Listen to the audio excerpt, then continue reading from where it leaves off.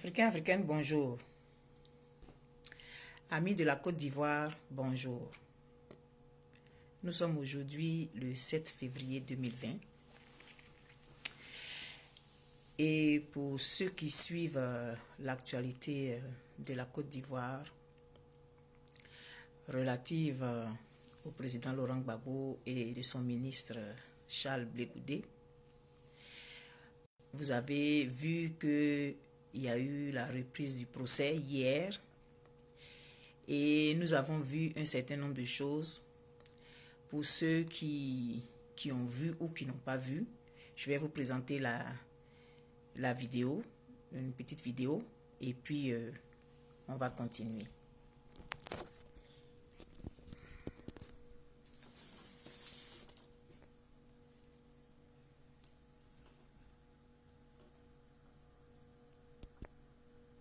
Le vrai sens de l'intervention de la Côte d'Ivoire est, in fine, d'inviter la Chambre à condamner Laurent Gbagbo.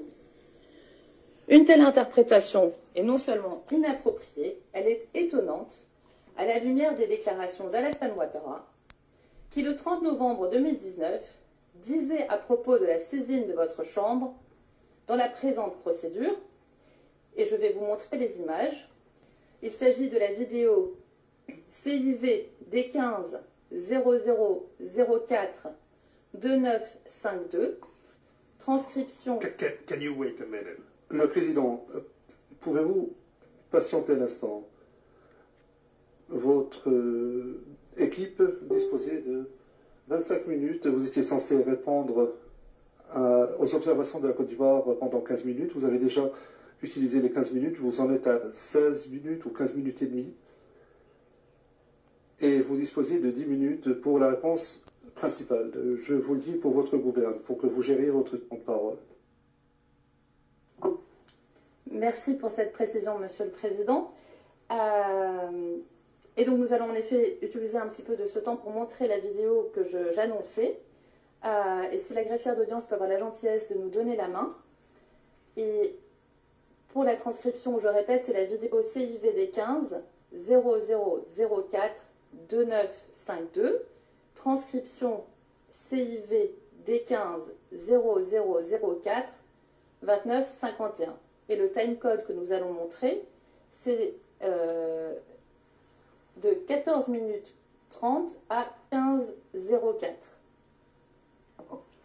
Could the council please just uh, La greffière d'audience, maître, est-ce que vous pouvez nous indiquer le niveau de confidentialité de la vidéo? Est-elle publique ou confidentielle? Madame la greffière, c'est une vidéo publique.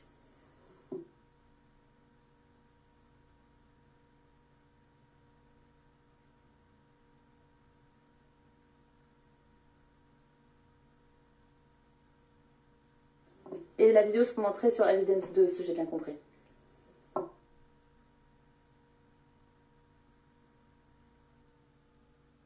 de la- de l'intoxication. Il n'y a jamais eu de demande du gouvernement ivoirien. Les avocats ivoiriens ont pris une initiative, c'était leur initiative, et nous n'avons jamais été associés à cette initiative des avocats.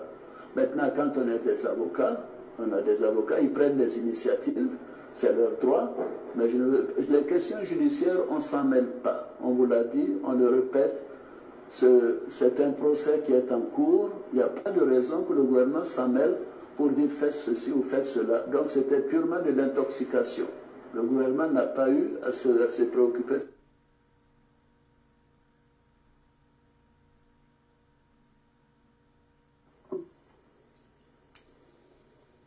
Nous sommes donc surpris que les représentants de la Côte d'Ivoire fassent ici exactement le contraire de ce qu'Alassane Ouattara, le président de la Côte d'Ivoire, dit vouloir faire, c'est-à-dire ne pas se mêler de la procédure en cours. Et pour toutes ces raisons, nous vous demandons respectueusement d'ignorer les observations de la Côte d'Ivoire. Merci, Monsieur le Président.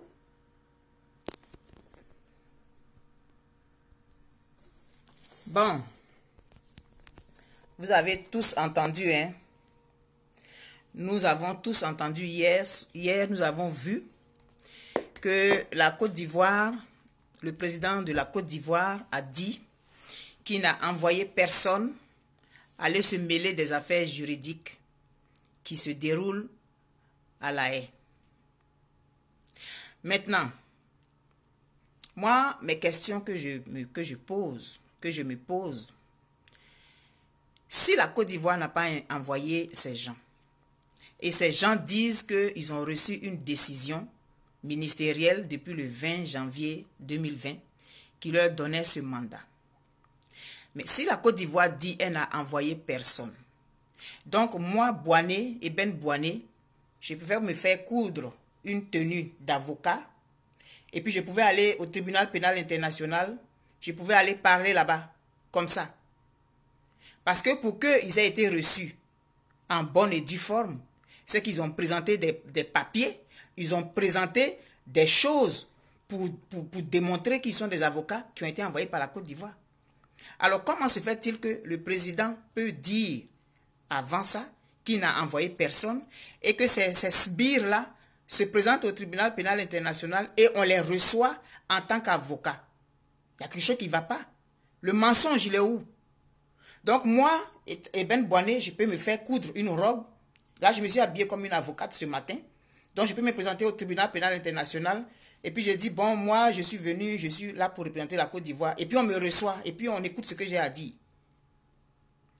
Est-ce que vous ne voyez pas que le monde entier se fout de nous? Ou le monde entier se fout de notre intelligence? Cette comédie-là, qui est devant, qui est derrière? Parce que c'est de la foutaise. Un président d'un pays qui a envoyé un de ses enfants au tribunal pénal international sous le prétexte qu'il a tué, qu'il a fait des crimes contre l'humanité, dit à un moment donné qu'il n'a envoyé personne parce qu'une lettre aurait été envoyée par des avocats qui demandaient qu'on revoie euh, les conditions de remise en liberté et qui voulaient dire sous, de façon euh, euh, indirecte de maintenir le président Gbagbo et son ministre Charles Birgoudé là-bas. Cette lettre a été reçue par le tribunal pénal international en bonne et due forme. Et à cause de cette lettre, on a repris.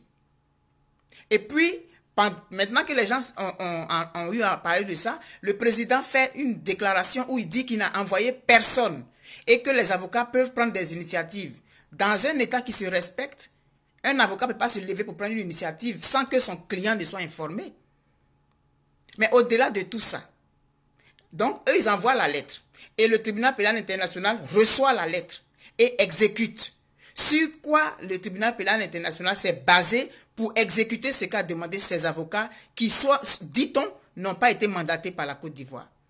Et on, reprend le procès et ces avocats-là sont assis là-bas. Comme moi, je suis habillé aujourd'hui là. Je pouvais aller, moi aussi, je pouvais aller au tribunal pénal international avec ma, ma robe, avec mon affaire blanche là, et puis dire que je suis avocat de la Côte d'Ivoire. C'est une comédie qui est, vraiment grotesque. Il faut que ça prenne fin. Donc je suis là juste, c'est pour parodier, juste pour parodier, pour montrer comment c'est ridicule, comment est-ce que on se fout des gens et puis on est, on on est, on est dans ça là. C'est de la foutaise internationale.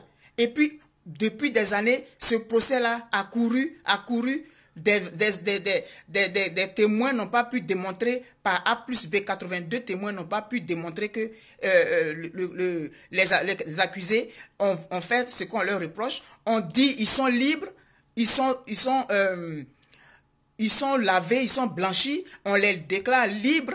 Et puis après on dit non, non, non, on les déclare plus libres. Non, non, mais il faut qu'on fasse un appel, et puis ça, et puis ci, et puis ça. Huit années. Et ces avocats-là de la Côte d'Ivoire, c'est qui qui les paye? Des gens qui vont s'asseoir là-bas. Et puis à la face du monde, on présente le président de la Côte d'Ivoire qui dit qu'il n'a mandaté personne. Et puis le procès se poursuit quand même. L'action se poursuit quand même. Avec des gens qu'on peut considérer comme, faisant du faux. Parce que s'ils n'ont pas été mandatés, c'est qu'ils font du faux. Et malgré ça, ça, ça a continué. Et puis ils ont continué à discuter. Normalement, ça devait s'arrêter là. On devait s'arrêter là, là en même temps. Ça devait s'arrêter là. Et puis on dit, bon, ok, les gens là, bon, c'est bon, ils sont libres. Mais on a continué. Et on va nous donner des résultats aujourd'hui avec des gens qui n'ont qui, qui pas été mandatés par la Côte d'Ivoire. Ce n'est pas une lettre, c'est une vidéo que le président a, a, a, a faite. Et on continue dans le mensonge. C'est que le monde entier ment. Et la Côte d'Ivoire est humiliée. Mais on ne se rend pas compte jusqu'à où on est. Jusqu'à. Sur toutes les chaînes étrangères, on en a parlé. Le président se dédie, il dit qu'il n'a pas envoyé des avocats. Et puis le procès, ça se poursuit quand même, même si ce n'est pas lui qui les a envoyés. On devait arrêter. Donc moi, Ben Boané, là, voilà ma robe, voici avocate aujourd'hui. Avocate au barreau de Dacioko. Je suis avocate au barreau de Dacioko. Voilà ma robe. Tout le monde peut courir sa robe et puis porter, puis aller avec, mettre un truc blanc ici, puis aller. Donc tout le monde peut faire ça. Parce que s'ils n'ont pas été mandatés, qu'ils sont assis là-bas, donc tout le monde peut le faire. C'était juste pour parodier un peu euh, le côté ridicule et, grotesque de cette comédie internationale qui se joue sous nos yeux depuis bientôt, bientôt 10 ans. Mais il faut que, il faut que ça s'arrête là. Donc, euh, vraiment, euh, je ne sais pas, je sais pas qui, qui tire les ficelles. On suppose que la France est en bas de tout ça, mais c'est ridicule et c'est grotesque. Et hier, c'était vraiment le, le top du grotesque. C'était vraiment le top du grotesque hier. Qu'un président dise qu'il n'a pas envoyé des avocats et que les avocats sont assis là-bas et puis la procédure continue, même si le président a dit qu'il ne les a pas envoyés. On devait arrêter. La Côte d'Ivoire est bafouée, l'honneur de la Côte d'Ivoire est bafoué tous les jours, jusqu'à même dans sa plus simple expression, jusqu'au niveau international. Et la, la, comédie continue. Ça devait s'arrêter. Je vous souhaite une bonne journée. C'était juste pour, pour parodier un peu. Euh, donc, je crois que je me suis habillée comme ça, comme une avocate. Je ne suis pas avocate. Mais sinon, comme on dit, l'habit ne fait pas le moine, là. Mais tout le monde peut porter une robe, mettre un truc blanc dessus, puis partir. C'est honteux. C'est honteux pour la Côte d'Ivoire. Et puis, il faut que cette mascarade-là s'arrête parce que je ne sais pas où est-ce qu'on peut aller pour arrêter ça, mais il faut que ça s'arrête. Parce que c'est... Il n'y a pas un plus grand désaveu que ça. Des avocats qui sont assis là-bas, à la face du monde. Et le président dit, je ne vous ai pas envoyé. C'est de l'intoxication. Donc ceux qui sont là-bas, là, c'est des, des, des, fraudeurs. C'est des fraudeurs. Et eux-mêmes, on doit les arrêter. Parce qu'ils font du faux. Qui on doit arrêter maintenant? Celui qui, celui qui a signé la, décision qui disent qu'ils ont depuis le 20 janvier. là. C'est qui, C'est quel ministre qui a signé? Le ministre qui a signé là aussi, lui aussi, on doit, on doit l'arrêter aussi.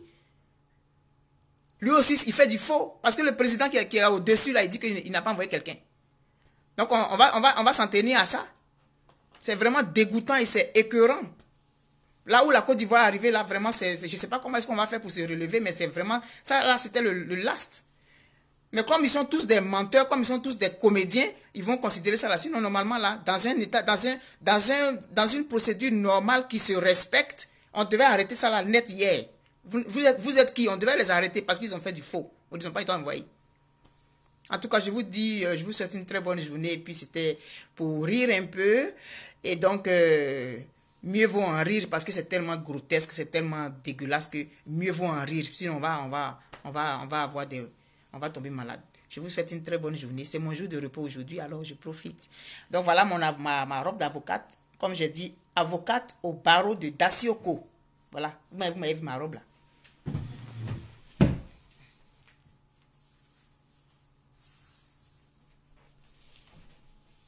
Je vous aime très fort. Bye bye. Ouais, la Côte d'Ivoire a perdu son honneur. La Côte d'Ivoire a perdu son honneur. Quand on dit ça tout le temps, les gens pensent que c'est des, petites choses comme ça là qui font que un État est crédible, un pays est crédible. Mais on a perdu notre crédibilité, effectivement, depuis 2010. On a vraiment perdu notre crédibilité et plus le temps passe, plus on étonne de façon négative les gens. Voilà. En direct, le président dit, il ne vous connaît pas, c'est de l'intoxication, il ne vous a pas envoyé. Les avocats peuvent prendre des initiatives, mais il ne vous a pas envoyé. Et puis, ça continue, la procédure continue. Ça devait s'arrêter, on, devait, on doit les mettre en prison. On doit les poursuivre pour faux et usage de faux. On doit les poursuivre pour faux et usage de faux. Parce que c'est des malhonnêtes, on ne les a pas envoyés quelque part. Donc, euh, voilà, vous avez vu ma, tenue d'avocat là. Je peux, je peux porter ça pour aller, hein. je peux aller... Euh, je peux aller défendre le président Gbagbo avec ça. Il suffit que je mette une robe et puis un truc blanc dessus et puis je suis avocat, n'est-ce pas? Bye.